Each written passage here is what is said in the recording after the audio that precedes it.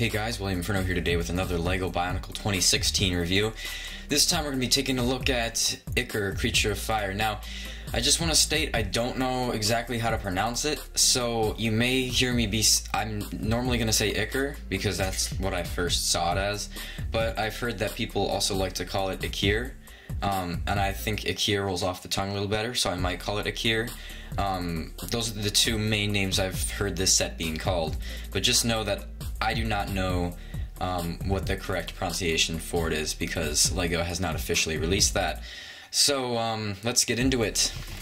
Here we have Akir on the front of the box with its shadow trap, 77 parts, um, more information, mask of control at the top. I think I've stated this before, but I really do like the green that the set that the new boxes have. Um, of course, it's Akir. Uh, you can combine him with Tahu or unite him, and then uh, you get this, which in my opinion looks pretty cool. And then you have the function, 1-1 scale the mask, and the shadow trap. So, um, that is it for the box.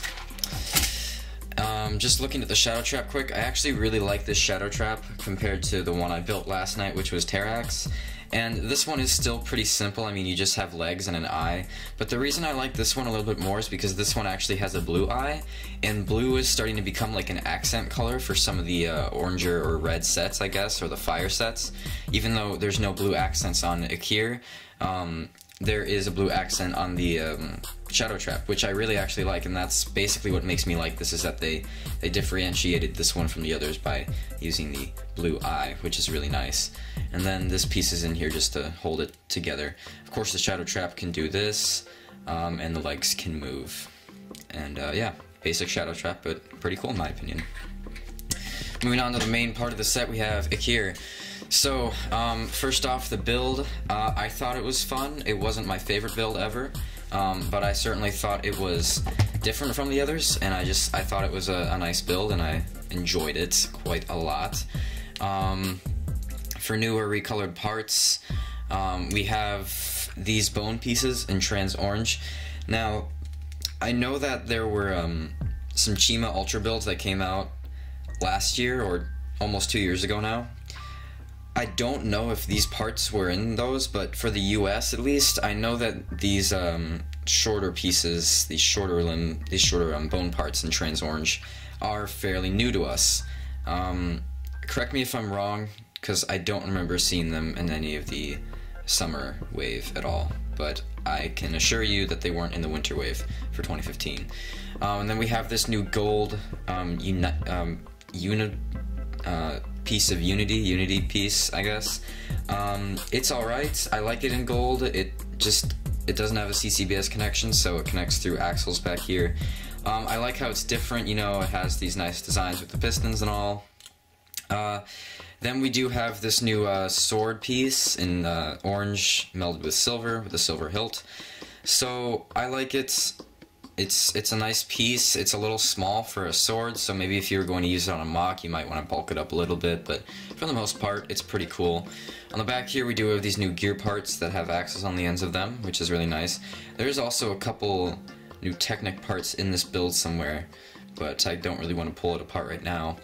Uh, and then, of course, we have the new creature mask, and this time it's in gold, melded with trans orange. This is, I'm gonna say, my favorite um, creature mask so far.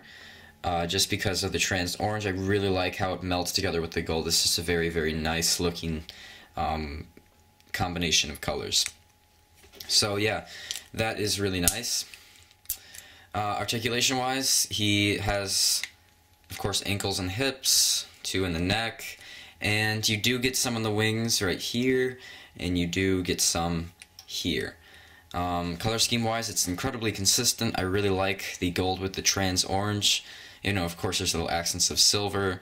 Um, but what does kind of break the color scheme slightly is the orange here. There's no other orange on the set.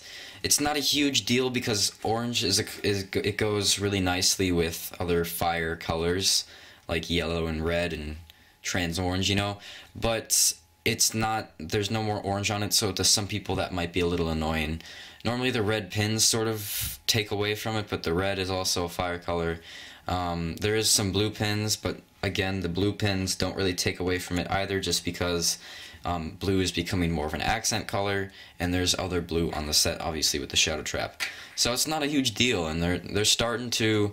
Um, I just like how it worked out. Oh yeah, I forgot to mention you also have articulation down here, and here I really like this design.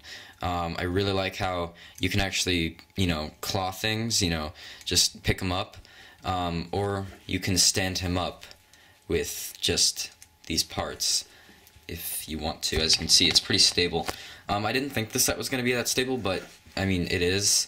You can also just have them flat. You don't have to have them like that. There is quite a few points of articulation in the spikes and such.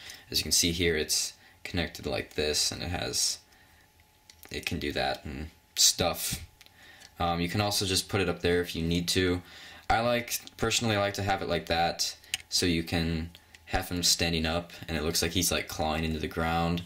Um, so, yeah. He does have the Phoenix-esque, which I really like. It, it looks like a mini Phoenix to me, just because of the fire and everything.